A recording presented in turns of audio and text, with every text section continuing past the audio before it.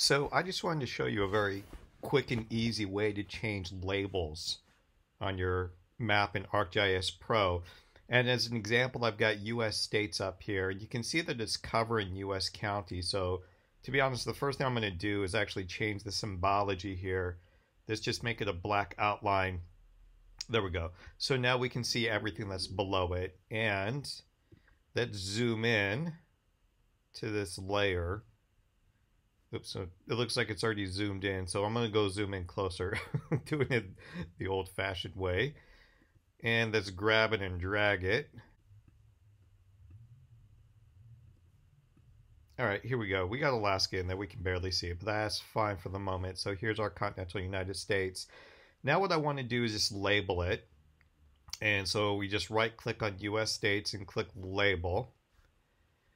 And we notice that we've got the states labeled, but it's the full name. And if we want to change the label to something else, the question is, how do you do that? Well, let's open up the attribute table really quickly. And in this particular exercise, we want to change the label from name to the abbreviation of the name, which is STUSPS. So that's the abbreviation name that we're after. Just want to make this a little bit smaller. There we go. And so what I'm going to do now is just right click on US states again. Now we'll click labeling properties and we have our basically what looks like a field calculator opening up again. And you'll notice here that the labeled expression is for name, which is this one. We're going to get rid of that. So we just highlight it, press delete. And now what we want is STUSPS. We'll double click on that. And then if you click apply, you'll notice now our label has changed. We've got the new label, which is now this column instead of this one.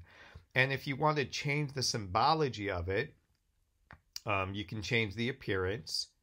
And so now we can change the size of the font, the type of font, the color. We can make halo outlines. We can do whatever we want to it. So just to give you an example, let's say we change the text color from black, we can make it yellow, which is going to be hard to see on this map, but that's okay. Click apply, and you can barely see it now because now the text is yellow, which is sort of a bonehead thing to do. So let's make it black again, or at least a different color that's darker. We can have an outline of it. Uh, again, we can do just about whatever we want. We can halo it, and that's what we were asked to do in this particular exercise. So you can halo it to white if you want, and we can apply our changes, and you see what happens. So we can do anything we want with labels. You just sort of have to be a little bit clever with it. All right. If you have any questions, please let me know. And with that, until next time, bye bye.